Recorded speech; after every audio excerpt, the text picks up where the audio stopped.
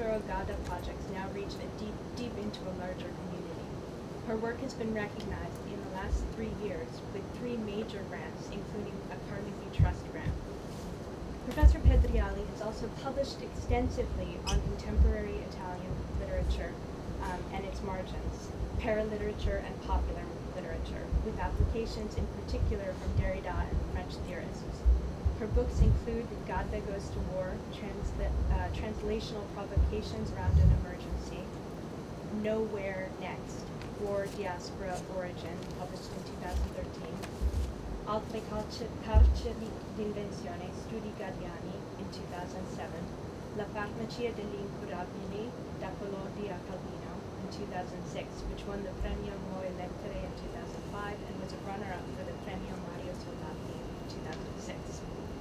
She's currently editing a Gadda encyclopedia in four volumes and guest editing a special issue of the Cuadernos de Filologia Italiana.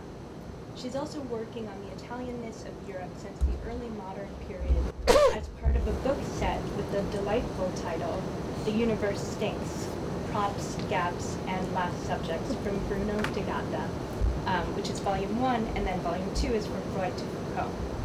Um, her talk this evening is entitled Deconstructing Rome. Please uh, join me in welcoming Federica Pedriali. Thank you. Thank you for coming on such a wonderful night. And thank you for inviting me. Thank you, Ruth, and thank you, Rebecca. It is wonderful to be here. Very adventurous and very wonderful. Uh, tonight's talk is also quite, uh, let's say, appealing, I think, uh, because of the subject, Rome. Rome is such a fantastic topic. And I've tested some of the content, if you want, for this particular lecture, presentation, or seminar, or sharing, or laboratory, whatever you want to call it, with some of the students at Harvard. And there too, it has been really well received. So, what are the main, if you want, trends or work, um, the main, say, uh, ideas that I'm going to put on the table for you tonight? First of all, starting from the from the title, deconstructing Rome. Well, I'm invoking or evoking the ghost of deconstruction. At the same time, you know, when you talk about a city, a city is inevitably constructed, i.e. built up, and in a sense applying deconstruction in a really broad sense, it's also quite, let's say, tempting and feasible. So nothing too technical in a sense, but also, you know, with an attempt to look at some, if you want, theoretical thinking about the city. And also, what I would like to do with you, as well as presenting basically two films in the end, I decided to narrow down to two phenomenal, beautiful, phenomenal, beautiful films that have come out recently, exactly in the same year. One great beauty, and the other one perhaps less known. Um, Gianfranco Rosi's Sacro Gra.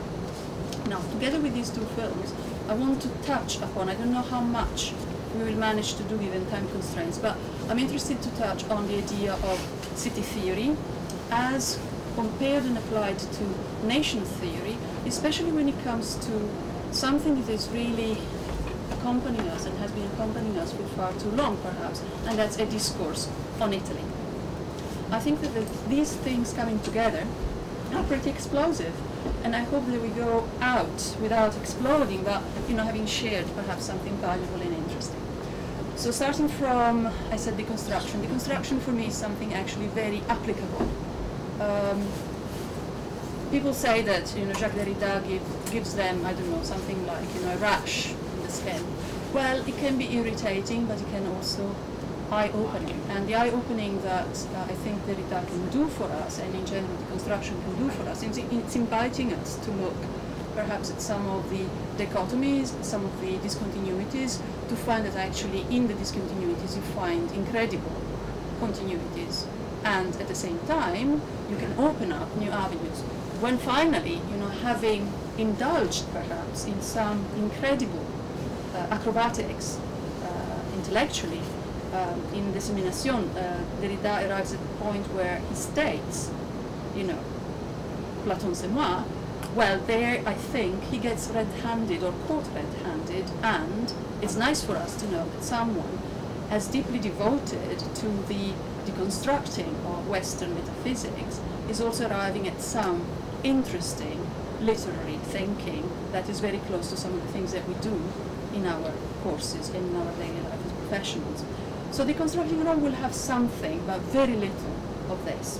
At the same time, as I said, I promised I'm going to look at some of the theoretical thinking about the city and the nation in tandem. Why? Because city theory is very, very agile, flexible, and developing fast just now. More than 50% of the global, uh, global mankind is urbanized, and so the interest from scholars and, let's say, quasi-scholars and people uh, working in other areas, other professional areas, is increasing around the city. The city is becoming a phenomenal and phenomenally global phenomenon, and in a sense, it's losing some of its specificity when it comes to the culture that produced it.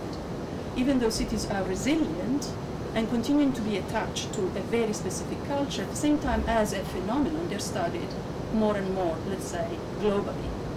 And it's interesting how all definitions such as, you know, the classifications, the typical classifications for cities were, say, by size, by density, by diversity, and that was sometimes, that was it. Now it's become a lot more imaginative by adopting concepts and definitions such as the imaginative city, the dark city, the arrival city, and so on and so forth. And in that, I would find a place for Rome as, let's say, not just a foundational city, not just an imperial city, but also an emotional city. And that takes me to one of my first points, and that is when we talk about Rome, it's amazing how much outpouring of love there is about this place. And it may come from, say, uh, local Italian culture, but also, you know, and even more so by and from visitors and this applies to scholars as much as to the general, say, you know, the less experienced tourist. I can think, for instance, of a beautiful book such as Mike Herzfeld, Evicted from Eternity, published in 2009. He is professor of anthropology at Harvard, and proposing to us to look specifically and very technically about one phenomenon that uh, concerns an area of Rome, the eviction of people from the particular area in order to basically beautified, gentrified, relaunched. At the same time, in the paratexts accompanying this particularly uh, rich and technical work, there is a lot of that, as I said, outpouring of feeling for Rome, an explanation of why, as a scholar, one comes to basically working on Rome for a lifetime. It's a lifetime enterprise. And so on and so forth. You could look, for instance, you could observe some of our observers. I'm talking about uh, media people, journalists. I'm thinking in particular of someone like Bill Emmott from the UK, who has devoted a part of his profession, professional activities, to the studying and depicting and discussing and debating of Italy. I don't know if you're familiar with a film entitled A Girlfriend in a Coma. Yes, of course. Girlfriend in a Coma came out in 2015. It's directed by Annalisa Piras. It's not meant for the you know, sort of big cinema uh, venue, but it's meant for circulation within, say, the medias, i.e. especially television uh, channels. And it is once again a very personal take by someone who has dealt with or handled or tackled the issue of Italy, especially today, not just Rome, but Italy today, from the perspective of having been a sort of English boyfriend, if you want, of Italy, given that the title of the film, Girlfriend in a Coma, is pointing in that direction. And in order to justify almost and give himself authority over this particular task, i.e. depicting the Italy Berlusconi, primarily but not exclusively, uh, what's left of it basically after Berlusconi's left office, we do have the sense that in order to justify and gain authority on a public that could question how come that Italy needs you know, an English boyfriend in order to survive, well, basically, it comes from personal experience. And once again, we've got you know, the full commitment, the full statement coming from Bill Emmott at the beginning of the film, explaining why he's committed to this nightly quest. It could be put that way. And so having, in a sense, used his captatio benevolentiae to establish that there is a particular link between himself and Italy, so he's not someone who dares speak without a direct experience of the country, is also saying, you know, it is an act of love, and it's through an act of love that I'm denouncing the evil. Even though the film is organized around two main halves, Buona Italia, Malitalia, I would say that the Malitalia plays the shocking part inevitably. I mean, evil is a lot more shocking than goodness. Um, at the same time, the shocking part of it is really shocking, and some people, you know, do find that the approach has been far too forceful. If we want to discuss that at some point later, because this is part and parcel of this vision of Rome as double bound with Italy, is part of the intention of the talk for tonight. So when it comes to city theory, I'm finding that the field is flexible, it's very adaptable, it's very interested in what's happening just now at the global level, is a lot less cultural specific, and that's a pity in a sense, because cities do specialize. And in specializing, especially as they have specialized in Italy over time, consider the Grand Tour, the Grand Tour was attracting people according to where you wanted to go geographically, i.e. your experience of Italy was in a sense marketed through, if you can call it market, was marketed through your expectation of what you would find in Venice compared to Naples, compared to Rome, compared to Florence, which were possibly the major Grand Tour towns, with changes over time obviously as technology allowed you to travel further south more easily. So with city specialization, you would like some of this to be retained in what is global city thinking. Uh, the general thinking is extremely positive. Titles such as The Triumph of the City or Cities Are Good for You are all, you know, the rage in a sense of serious scholarliness. At the same time, at the same time, there is, I think, a strong uh, risk, if you want to put it that way. I don't want to sound alarmistic, but some of the cultural specificity, especially when it comes to Italy, that does have a particularly strong city culture, you know, we do have something of a risk. And it may not be by chance that Italian cities, in a sense, don't figure out that much in uh, uh, the analysis, if you want, of some of the leading scholars. I'm thinking also, for instance, something like that beautiful atlas of cities produced by Paul Knox just last year. I generally tend to think about something fairly recent in terms of publications. I think it's nice to present something that is really relevant and contemporary and sort of ready for discussion now because it has just been picked from the Harvard bookstore the other day. So John, uh, Paul Knox, Paul Knox's book, The Atlas of City, thin, thick, beautifully produced, phenomenally beautifully produced, divides cities according to this more flexible classification I was referring to. You know, more imaginative, more creative, enterprising in terms of you know what you bring to bear in terms of the attributes of the city that you want to classify. Well, Italian cities don't figure up that much, and Rome, as I said, figures only as the foundational city, which is surprising to me. Whereas I would have also placed it under emotional city, for instance. That would have been to me almost owed to something that has been so much loved over time. When I start thinking about nation theory, uh, inevitably, most of the discussion on Italy, sorry, on, on, on, cities such as Rome, will bring in Italy in some way or other. And vice versa, when you talk about Italy, the talk will come about Rome. So there is this double bind, once again, between nation and that particular city, which obviously has played a very major part in the Italian Risorgimento. And not just in the Risorgimento as such, but if you want in the entire movement or convulsion of energies and feverishness that is basically you know, the preparation for that unification that was so belated.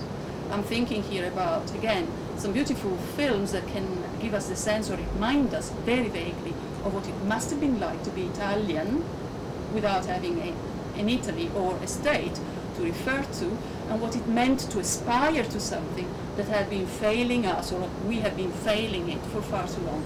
And I'm thinking here about, again, two fairly recent beautiful films that go in tandem even though they come from a different director and they do, not, do not belong together, but in terms of the period that they are portraying to us, they do belong together. And these are Noi Credevamo by Mario Martone, 2010, and the other one is Vincere by Marco Bellocchio, 2009. two really splendid films. And to me, the continuity there, and the one that I would like to put to you as part of, if you want, the problem, the gateway, is basically the feverishness, the convulsion, the fact that the generations were spent, as we see, especially in the Martone film, the first one of the two I've mentioned, generations are spent in this state of convulsion. State of convulsion is almost again you know, one denying the other. Well, it's actually extremely serious if you only live by convulsion, but this is what appears to be the case. Now, I'm pitching things very lightly here, I know. But in a sense, what I'm trying to sort of put across to you is the fact that when you speak about Rome, you've got to speak about Italy. And when you speak about Italy, you've got to speak about Rome more than for any other city okay, there is the, if you want, the annexation, it's not annexation as such, technically speaking, but let's say of Trent and Trieste, which for us were ultimately the last war of independence and led us to entering the war in 2015, uh, sorry, in uh, 1915, World War One. There are those territorial issues still attached, if you want, to the idea of nation, but there is nothing more closely linked as Rome and Italy. And in the continuing discourse on Italy, you cannot but talk about Rome. And that too, in a sense, is problematic because as I hinted at some problems at the level of theory, if you want, with city, there is similarly a problem at the level of nation. Nations are very much out of fashion, quite rightly so. We do find issues with them. Now the problem is that Italy, in the pre-early modern period, invented most of the modernity we enjoyed, or um, a lot of it at the same time, it did not enjoy or participate fully in that process that ensued or followed from those inventions. One of those inventions, if you want, is Machiavelli. We can talk about it later at some point.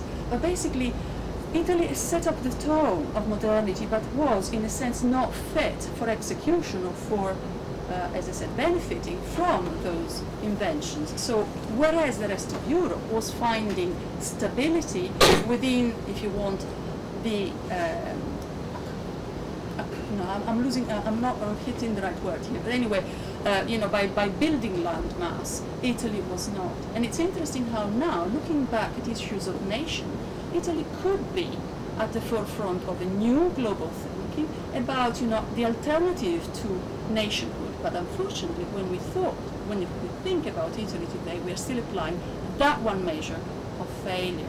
And I think that that too might be an interesting way to provoke a new form of debate in order not to always measure up Italy against, if you want, the yardstick of nationhood and nation and nation state. By the way, the two things ultimately do go well together somehow because the nation shouldn't be the same thing as state. Indeed, we call it the nation state to distinguish the two things. But in reality, when you talk about nation, the people who are native together, who belong together, somehow it does bring in, you know, something that is a judgment or an evaluation of the Italian state. The Italian state end up to, ends up to be or to look like, you know, an image, a spitting image of what is bad, in Bill Emmott's term, about Italian people. What is not rescuable, what is not being remedied over time, and vice versa. So once again, the double bind is fairly close. And a further double bind that is particularly dangerous is the idea that you know either there is Rome at the center of this proliferating mess, or as there is death. If we think about the national anthem, and then I'll move on to my clips, which are the next stage, um, if we think about the national anthem, I'm always struck by the idea that Italy was enslaved to Rome by God himself. It's a powerful line. However rhetorical, however marked by the time in which the anthem, which was not yet the anthem when it was written, you know, there is a particular context, if you want, determining the rhetoric and the sentiments behind the rhetoric. All of that is absolutely justifiable, but the link between che Dio la crea, serva, di Roma, it's quite interesting. One of the things Italy, or the Italians by extension, are accused of is a general or a kind of sloth, a kind of not just mollitia, not just softness, and not just corruptibility, but also a kind of inertia when it comes, you know, to de- deciding your own destiny. One could say, and it has been said, and it is extremely well argued in the literature, that Italy has you know, been basically enslaved for a very long time, at least since the early modern period. But if you look at the history of the, of the Roman culture, of the Roman Empire, you could say that actually that time extends a lot longer.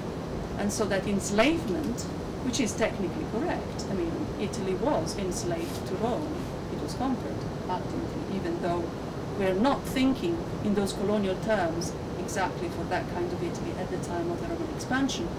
That could also explain ours, partly the dependence, partly, you know, the, I don't want to say love-hatred relationship between country and capital, but how, in a sense, Italy had to be recentered in order to have an identity at all.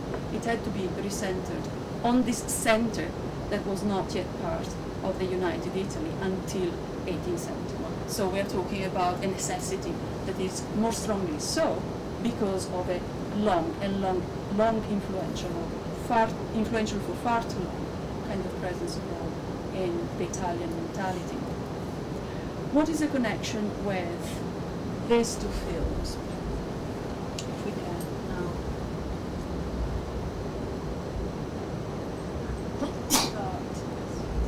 La grande bellezza. One of the questions that one also asks in city theory is what is a city for? Rome is the third most visited city in Europe. And it doesn't need to start now, but we need to start at some point. It's the third most visited city in Europe after London and Paris, interestingly. Interestingly, also, of the many thousand, many, many thousand visitors a day, bringing the density per square mile, you know, to rather amazing figures.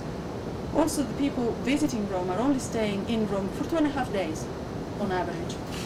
And of these two, two and a half days, actually the nights needed, you know, to spend that time in Rome are actually spent outside the very narrow, let's say, historical center or very small his- historical center that counts as the area that people want to see.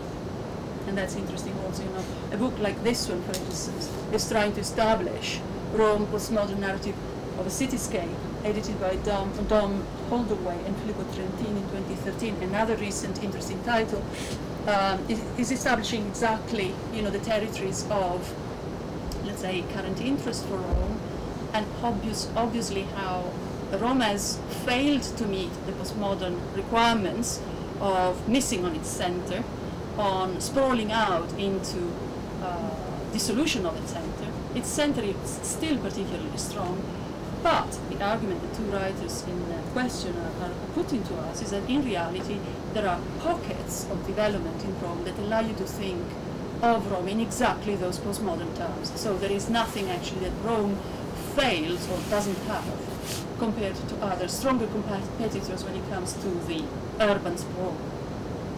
At the same time, in actual fact, people who go to, who do go to Rome are still going to certain things. So when one thinks about the immense success of a film such as The Great Beauty, one question is what is the city for? What is the film for? And what are its aspirations? Quite clearly, this film is for the world audience. Quite clearly, there is a strong homage to a film in the Italian history of cinema that has really made it for Italian cinema, and that is Dolce Vita by Fellini. Has been stated, and I don't think that here we're hitting anything particularly new. We may decide, and the discussion has been, as to whether this particular film actually deserves the comparison and whether you know it deserves Oscar. Uh, leaving that aside and leaving the fact that uh, is one of the most fantastic uh, actors of the time, and hence you know he brings this amazing ability to uh, you know uh, work with the persona of the character he's uh, acting to such an extent that he makes the film, as he did make, for instance, obviously, uh, another Paolo Sorrentino's film, Il Divo, of 2008. Of this particular film, I've selected one scene because, in a sense, I want to work with the tools I'm used to working and, in a sense, share them with you just to show the kind of work that I like to do and also to draw some of the general, let's say, principles or theories that are offered for discussion. And uh, it is the opening scene, and I suspect that even though it will have struck you, it's not what is most striking to you or more memorable for you of the film. I think we might want to lower the lights a bit. Uh, is that? And I also want to make sure that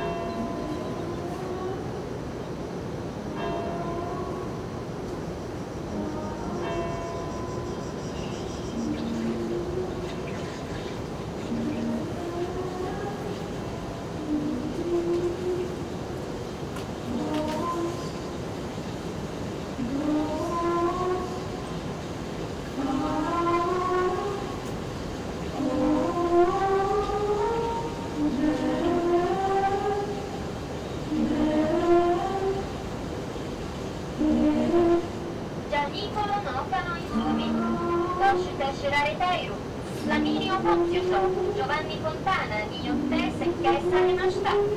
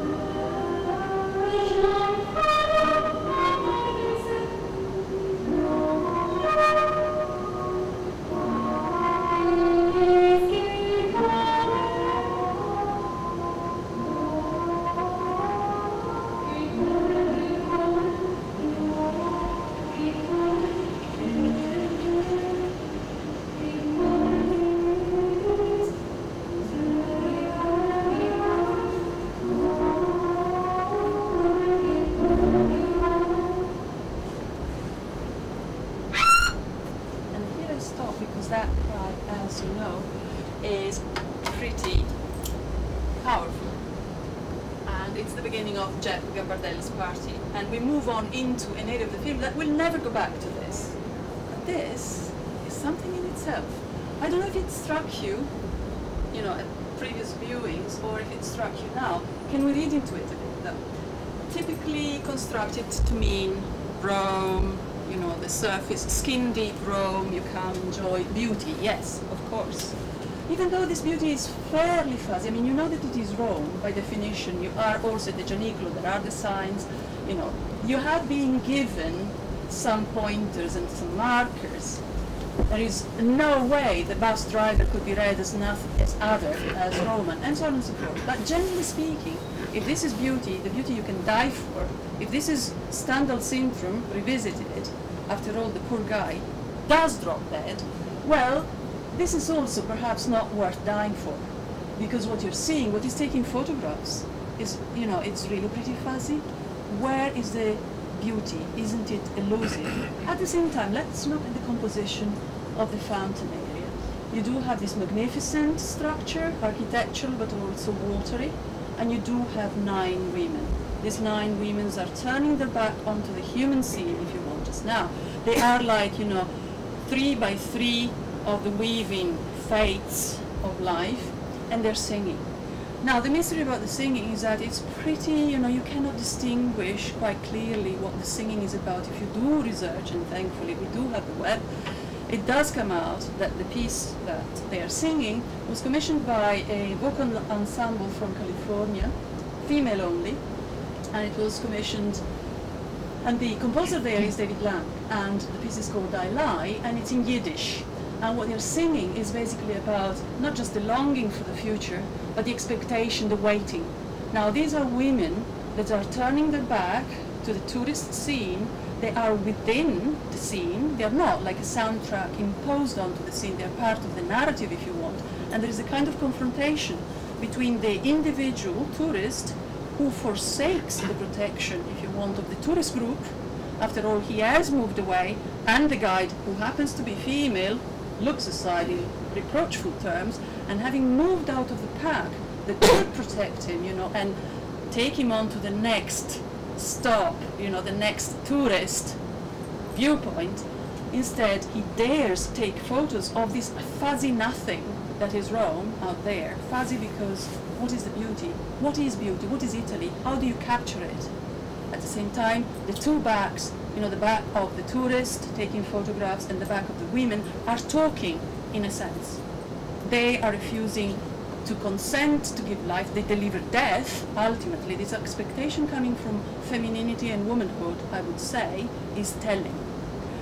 The girl singing, the one that is also framed with Rome in the background, the particularly beautiful voice. I've never, never, never heard. I've searched again, you know, on YouTube to see and on other recordings how much there is, you know, how many performances of this there are. And there aren't that many, but what there is is not as beautiful as this in terms of vocal rendering, let alone, you know, the context that Sorrentino then creates for it. But the combination of the two, I think, is particularly powerful. The woman is framed with, again, this fuzzy beauty to the back. She's singing her heart out, if you want, as she is also fate. And in being fate, she's waiting. Now, isn't this Italy? Donna Italia. Always in tears, always waiting for something, always predicting misfortune, always in tatters, always to be rescued, possibly by an English boyfriend, as we said earlier, possibly by some other boyfriend at some other point. Isn't that, again, in itself, you wouldn't expect this scene to have that connotation. Because we do expect this film to be about you know, a kind of dolce vita lifestyle that is suitable for, say, for an American public, for a global public, that what expects, you know, to be emotional about when it comes to Italy is visiting Italy and going back with enough, if you want, commercialized, packaged Rome to expose, if you want, to put on your beautiful library shelves when you were an aristocrat. Nowadays, it's a question of having something nice that reminds you of the trip and that's your experience of Rome. This is what this film could be about. In reality, it has got in it some of the subtext is particularly, I think, deep-reaching, but the clues were there.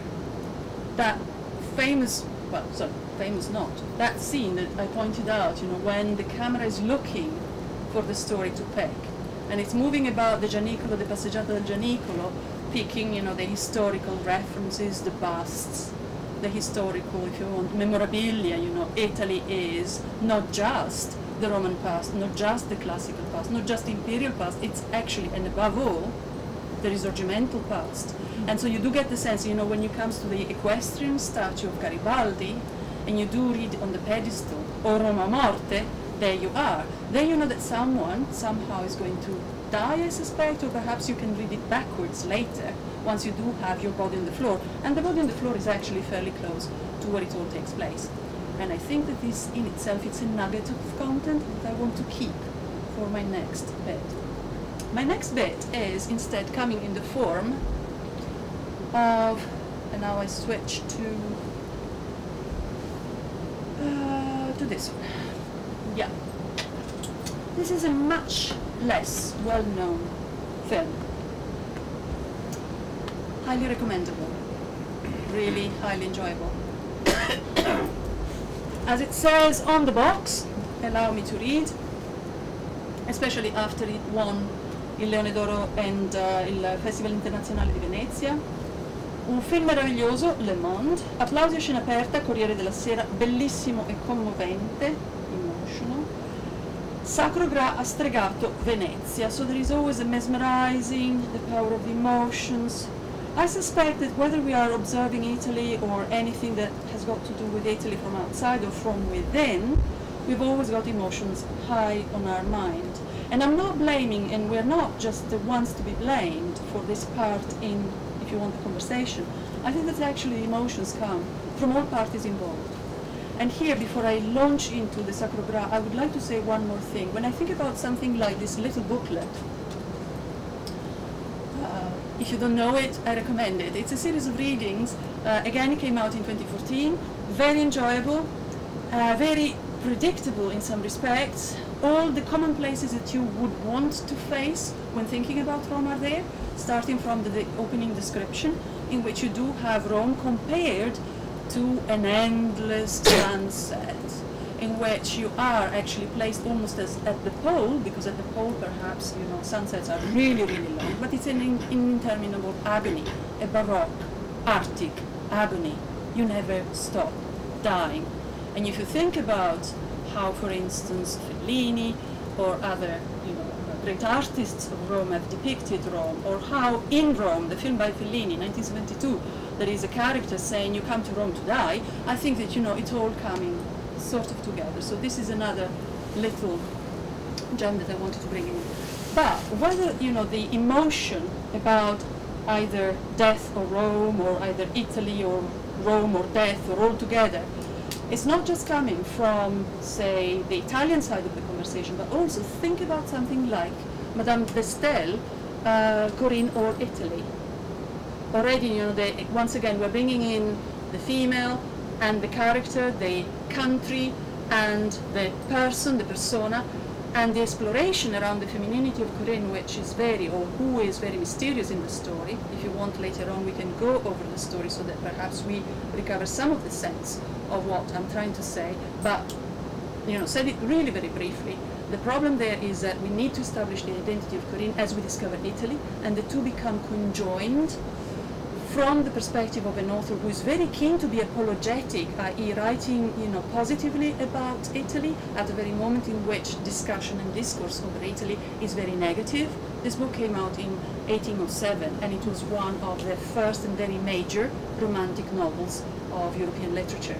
And as such, it has marked, once again, you know, discourse on Italy. Now, this book comes from someone who is not Italian, and it is pouring out emotions regarding the country at the very moment in which, in order to save the argument, Corinne is also to be found out not to be entirely Italian.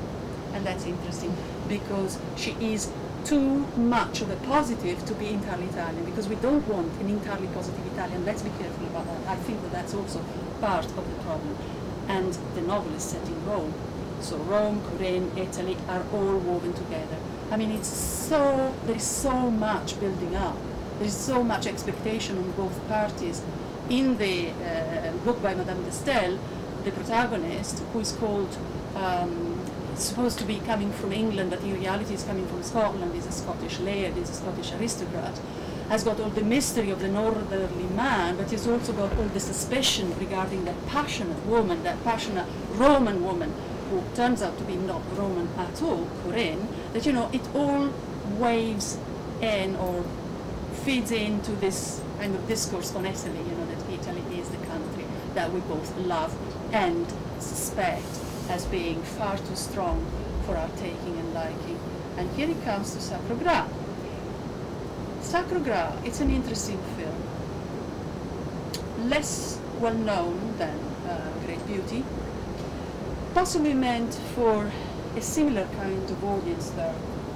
It's supposed to be a documentary uh, documentary film. It's signed by, as the poster says, by Gianfranco Rosi as the author, the director. But at the same time, the authorship is co-shared ultimately with the actors. The actors are not actors, they are not professionals, they are themselves. And apparently Gianfranco Rosi has worked for something like over a year in order to be so close to these actors, to be so attuned uh, to their mentality, so as to bring the best out of their, if you want, their personal story. Now, why the Sacro Gra? As we know, Gra is il grande raccordo anulare. It's the most important motorway system, uh, orbital motorway system around Rome. It's a kind of uh. And it was built over time, starting in 1948, by Eugenio Gra. So for once, we've got something of a joke of destiny, ultimately. It could have been an acronym. In reality, this is an eponym. Gra is the name of, you know, the, if you want, the author of uh, the project. At the same time, it's also what the thing itself is. Grande raccordo anulare. It is supposed to be nearly perfectly circular. It is not from the map as we see it. It was supposed to be nearly equidistant from the center. Interestingly, why? Why do we do we bother to have something as geometrical as that? After all, it has got to be useful. It has got to deliver, you know, convenience, mobility, not particularly, you know, geometry. But it's interesting that that was one of the aspirations. One could go technical and describe it in some way, you know, there are 42 exits, uh, there are so many tunnels, and so on and so forth. It's an, an interesting concept.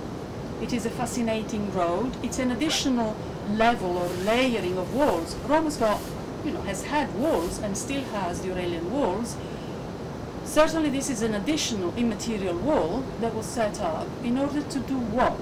Now they say that in order to keep out what the Sacro Gra, no, sorry, the Gra was trying to keep out of Rome uh, so many years ago would need to be 110 kilometers wide or long.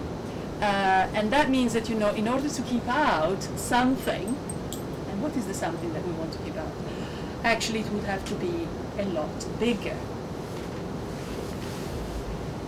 That is the, if you want, the thing out there. But what about the film? In the film, you do have something coming to town, something pointed onto the town.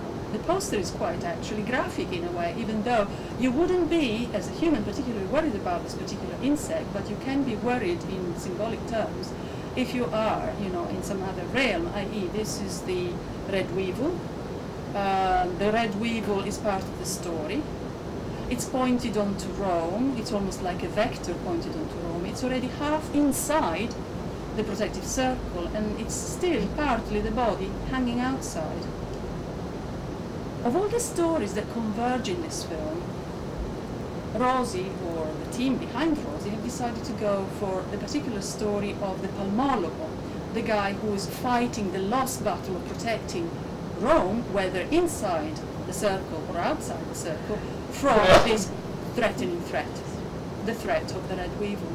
The stories are many, and they come back more than once. Again, on the surface of things, this is a story generated by the fact that uh, Sacro, um, Gianfranco Rosi, in his interest for real stories out there, works with people, has decided to work with people living on the Gra, and having identified interesting story for his purpose, has woven them together in an episodic fashion. They come and go, they come and go. But what can there be a subtext there? And can there be one that is of interest to us? Once again, a bit as we did with the uh, Grande Bellezza. If we look at the stories, well, the leading ones are one about a nurse, a, an ambulance driver. Uh, he works night shifts on the Gra, and so you do see, you know, how he comes to basically the scene of accidents to uh, recover whatever there is to be recovered. He looks like, you know, someone sent from God at times, uh, rescuing lives and, you know, being available to his own personal distress.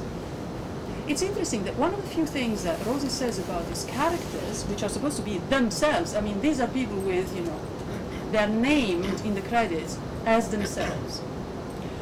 Well, one of the things that he says about this particular guy, one of the I would say, one of the leading characters in the story is that he's like an astronaut. And indeed, once you start looking at the film from that perspective, you do see signature tunes reminding you of Kubrick's 2001 A Space Odyssey. And that again changing changes the perspective over, if you want, what is supposed to be a series of stories to document what life on the ground is all about nowadays. It could be a documentary, but it's not. What are the other stories? Well, another interesting stories, trying to keep things together, is about a fisherman. And this fisherman, and this is my next, um, my next clip. The fisherman is basically fishing eels. He comes on scene a couple of times, and he's worried. He's worried about basically who is coming to town.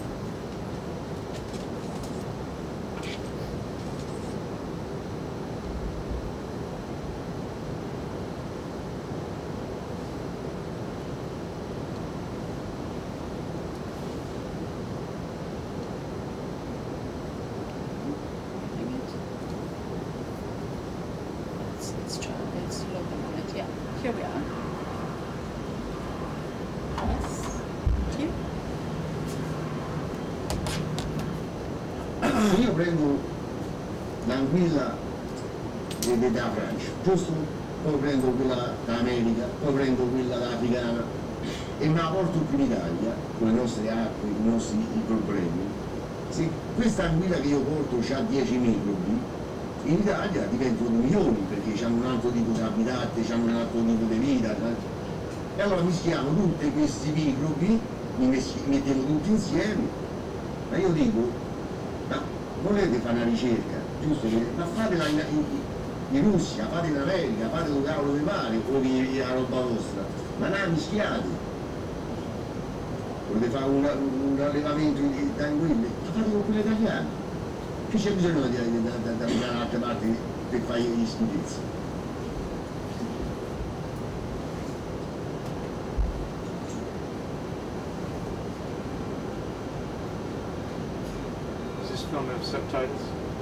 Doesn't have subtitles, unfortunately. It's funny how I, mm, there isn't there are no subtitles in this uh, for this film. At least in the in the edition I bought. Perhaps they Ecco, added them questa- later. Questo c'è proprio da dire. Senti, senti. If you want, I can run through the. Le anguille tradizionalmente si pescano e si consumano d'inverno, giusto? Cioè quando si erano già riprodotte, ma chi ha detto? Se queste vanno a fare riproduzione fatte di sargassi, come faccio a mangiare io un'anguilla che già riprodotta? La andare a pescare ma di sargassi? Eh, questo, questo è stata una stupidaggine enorme.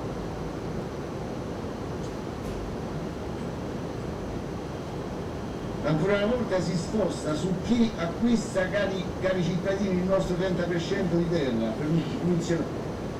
Ma va a imparare a parte, no? Ma va, va a studiare.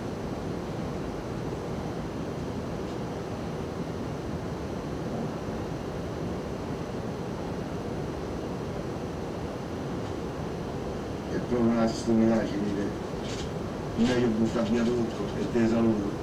Siamo in mano proprio a gente che scende di poco e pochissimo. Però noi che siamo una vita dentro l'acqua non ci interpellano mai, non importa mai nessuno. Credo che che dici che va bene così, andiamo avanti, che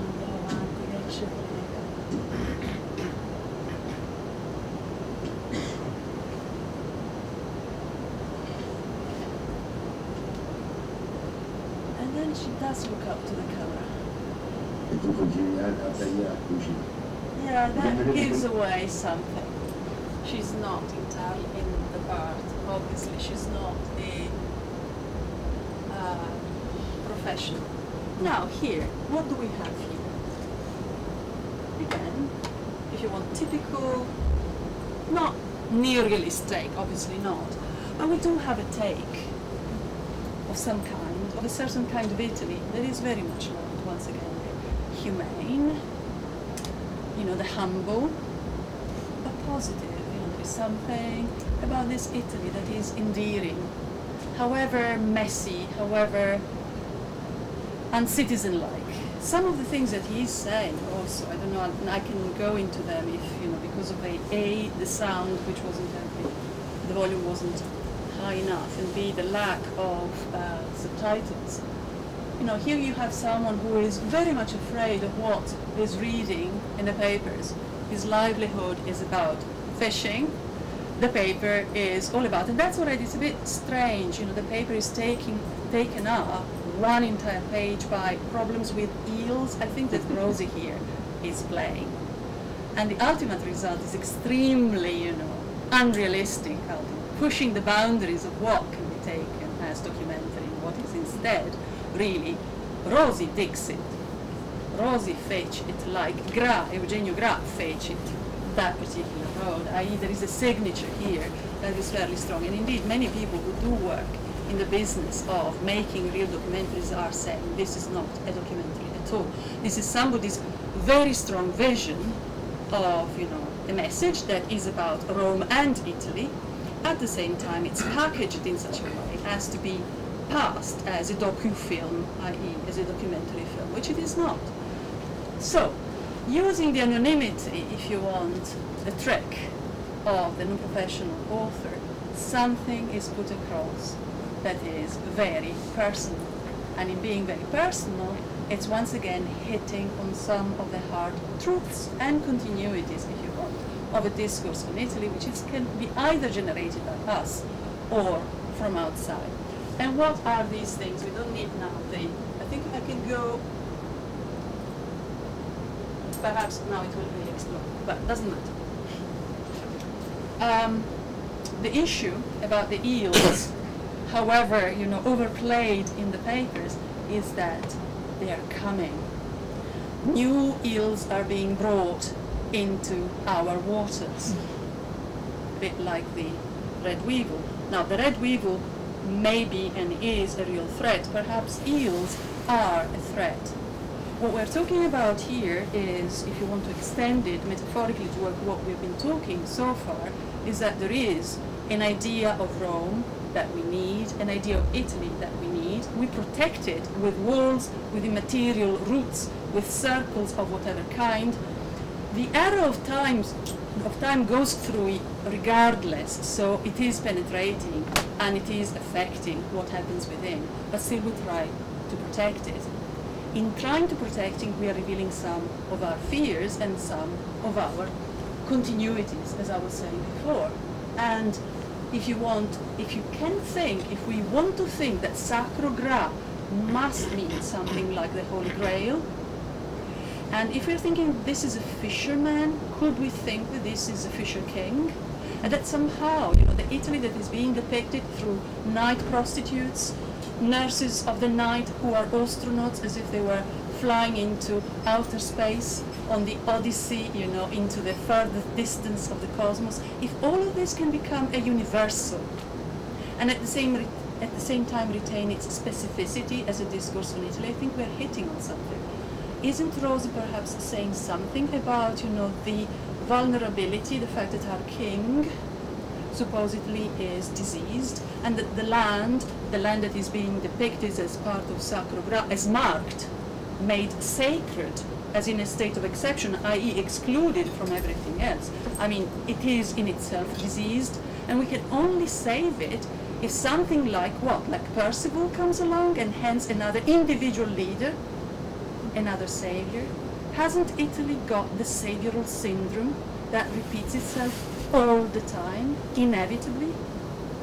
Isn't it perhaps this is one of the major problems? It has been discussed historically, philosophically, politically, but isn't it always coming up, surfacing up through whatever we do, even at this level? Perhaps I'm pushing here. I don't think so, because Rosi has given us some clues as to the fact that he's pushing the boundaries of the documentary, towards you know the timelessness, the transpassing into something other and else. If you watch the film or if you've watched it, I think you perceive it how much he plays on the time dimension. Time flows, and it flows circularly because you know 160,000 cars go onto that Sacro Gra every day. Sorry, Gra every day, and that motion is relentless. Time does not stop. But in that we can create, as I said, the continuities that are the discontinuities which allow us to see what we stand for. And what we stand for is this disease that can only be cured if someone will come out, will come in and rescue us. Now I'll close with last few comments.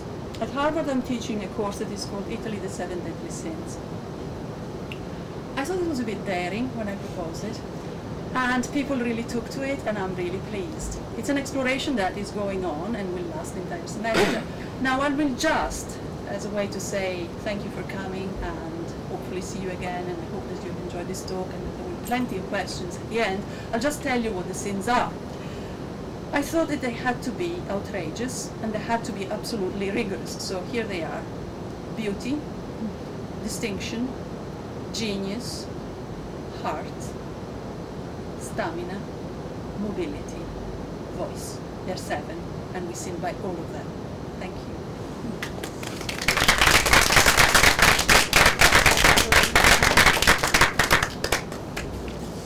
Sorry, it came in bits and pieces, episodic, and with returns. And I'm really happy to take any questions on, on many of the provocations that I've thrown around. There are several. And obviously, you know, it requires building more together or separately, individually on some of them. These were just suggestions. Um, but I think there are sort of strong undercurrents that can unite some of the things that I've said. Ready for the firing. Yes? Can you suggest some reading on Rome by Ivan By Romani. Why do we want to have readings by of all? Not insiders. Insiders, we want insiders. I don't know, it could be something like the canon. Do we want the canon? Don't know. Or Romani canons. I don't want to sound. Ah, that's great. I don't. Want, I don't want to sound, you know, um, too obvious. But I would still go back to some of the, uh, if you want, canonical texts of the 20th century. Why not? Uh, one favorite book of mine, if I may push on the non-Romano who came to Rome though and does deserve a place on the, you know, really on the altar, if you want, would be Carlo Emilio Gadda col Pasticciaccio. May I suggest that? Because that to me is a good take on Rome, a particularly sensitive one in the sense, you know, it comes from someone who not just tried to understand Rome, but did really uh, lived it through his body, his messy body. So because his work is so much uh, taken by the substance of being embodied, Rome was a great encounter for him. And so I would say, and not by chance, I mean, in uh, Via Merulana there is now a plaque to, to him saying, you know, this is the road that inspired Carlo Emilio to write Corpus Col pasticciaccio brutto di Merulana. That would be one. Um, and I'm not, about those who have come to Rome, uh, I'm not particularly enthusiastic. It's not answering your question, but um, I'm not, and again, I'm opening discussion on this one, perhaps. I'm not particularly enthusiastic about um, scontro di civiltà. I don't know what you think. Um, again, if that is, you know, thinking about Rome from a perspective of the non-Roman, at the same time trying to say something about that civilization. Um, I don't know. I don't know. I don't know. I'm, I'm, I'm puzzled here because I, I cannot think of something that really takes my fancy at the moment. I'm thinking of films rather than of.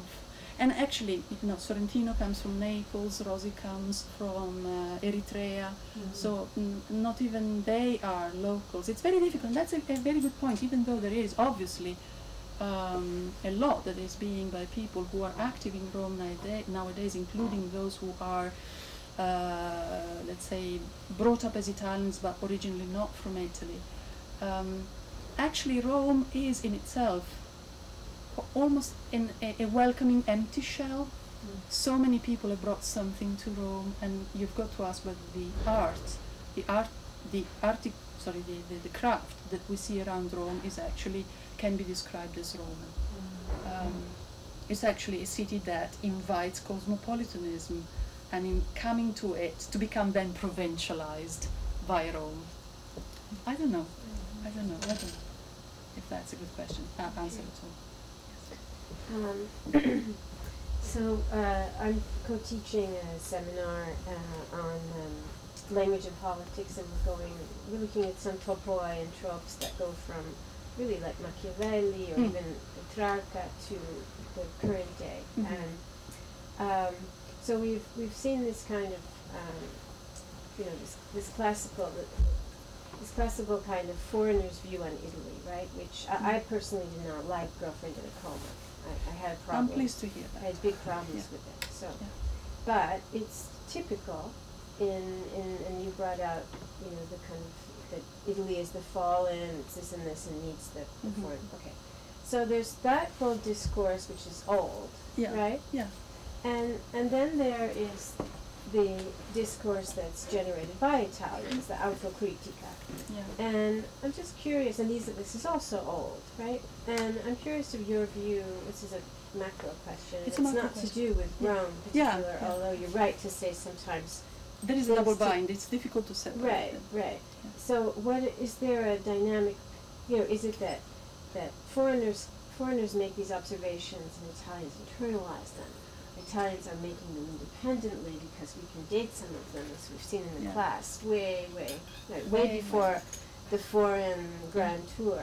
So I'm curious if you have a sense of. This is a phenomenal I question. know it's huge. It's like asking, like- you know, who comes first, the Yeah, chicken or the egg. I mean, it's it it's it's really next to impossible to answer it with, you know, precision. yeah. But I think that the circulation is phenomenal in its continuity. Yeah. And you said, you know, Machiavelli, and I, I, I like to, in, in my kind of approach, given my um, expertise, I tend to, to work between Machiavelli and Gramsci. And what you see in between these two uh, giants, you see that actually from the Italian side of the argument, you know, it's it's there, it's inevitable, it is painful, it is causing mistakes, argumentative mistakes, starting from Machiavelli upwards. Uh, to get to Gramsci, where he has got to say, you know, perhaps Italy is not fit for parliamentarism. You know, you have got to, to, to, to come with the, come up with the oddest almost kind of justifications in order to say perhaps Italy is really not fit for modernity. And at the same time, Machiavelli upwards, there is this inevitable expectation, the messianic expectation, you know, that someone like the prince, singular, will come out of the mushrooming of princes. You know, there are princes everywhere coming up in the prince. Uh, and obviously they all come and fail, but perhaps out of these one, not Cesare Borgia because he's dead by now, but you know, someone may come up and finally, finally take us somewhere. At the same time, at the other end, Gramsci, having witnessed what happens between Machiavelli and himself, he has got to say, you know, that actually even that expectation fails, i.e. that Italy is congenitally, I think I'm, I'm not misquoting here, is congenitally unable to produce and sustain, you know, the lasting prince, if we, if we want to use the Machiavellian term. Now, in all of this, there is a lot of contact. The contact comes in so many ways, you know, through trade, through cultural mobility. Think about the um, Commedia dell'arte artists traveling Europe, being kicked in and out of courts, depending on the favor of the particular king. Think about the Reformation, think about the Counter Reformation, think about all that goes into basically taking a position on a number of issues that boil down also as being identified as Italy and it's really difficult to say they we are rightly blamed as being you know with a chip on the shoulder always ready to take offense always ready to feel persecuted by you know fate. And for instance when uh, the predecessor of Cinecittà now I can't remember the name but there was a predecessor of, of Cinecittà burnt down and that's how Cinecittà came into being basically the, the, the chair uh, the chairperson of the burnt down institution was saying, hey, Italians are persecuted by fate. Well, you know, let's stop a minute. Is there something that we can remedy there? But it's certainly part and parcel of the configuration. And I think that you, when you present yourself to the table, to the international table, with this kind of argument, you're bound to arise, and if I may say so, the hmm, no, I, I don't, I cannot say that. But especially because we are on film. But let's say you do get the kind of response, you know, that you do get from Bill Emmott in that film. I don't think it's entirely balanced. He's going to, in a sense, a kind of banquet. You know, we've made it for him. And the most amazing thing in that film for me is that in the early scenes when he's setting up the narrative, the meta narrative about how the film came about, he says, you know, I was going around Italy asking or telling people, look, I'm going to make a film about, Yeah. etc. And they told me, oh, go ahead, I don't mind. That is the damning point because we should mind. That's a point where in the negotiation or in the conversation or in the discussion there is something that is very weak. So again, I don't know if the enslavement to Rome, if I may go as back to as far back as that, as a metaphor, I think it works. Perhaps it's technically not correct, but I like to play on the, if you want, rhetorical tag that uh, il canto degli italiani la- l'inno nazionale uh, allows me to play on. That basically that enslavement has really worked deep in the Italian psyche, if you can call it Italian psyche at any level, given that this chip on the shoulder travels again into other local aspects of our culture that have got nothing to do with being Italian also. We are amazing travelers of the world, we're amazingly successful when it comes to you know, integrating elsewhere, and yet we fail on that one issue so terribly and so sadly. Thank you.